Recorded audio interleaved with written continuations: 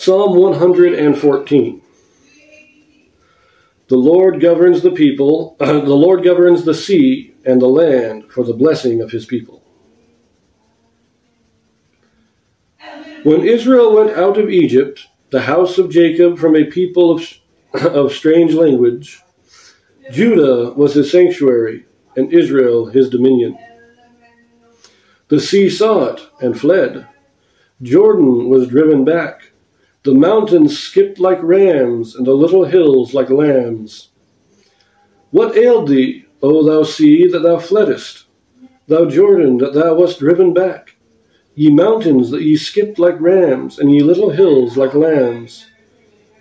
Tremble, thou earth, at the presence of the Lord, at the presence of the God of Jacob, which turned the rock into a standing water, the flint into a fountain of waters.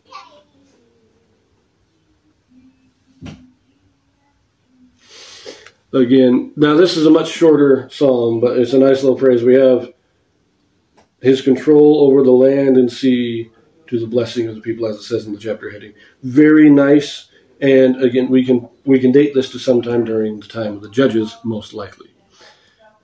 Nice little song.